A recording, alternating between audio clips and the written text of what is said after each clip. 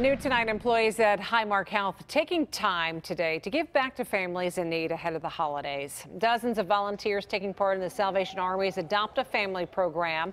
Employees helped wrap up a gift baskets stuffed with toys for children and even things like cookware and personal care items for parents. We live the Salvation Army motto for today, doing the most good, because that's what our employees are doing today for communities and for people that may not have the uh, wherewithal to give to their families and their children. All of the items were loaded into trucks and then taken to the Salvation Army warehouse. The gifts will be given to almost 100 local families.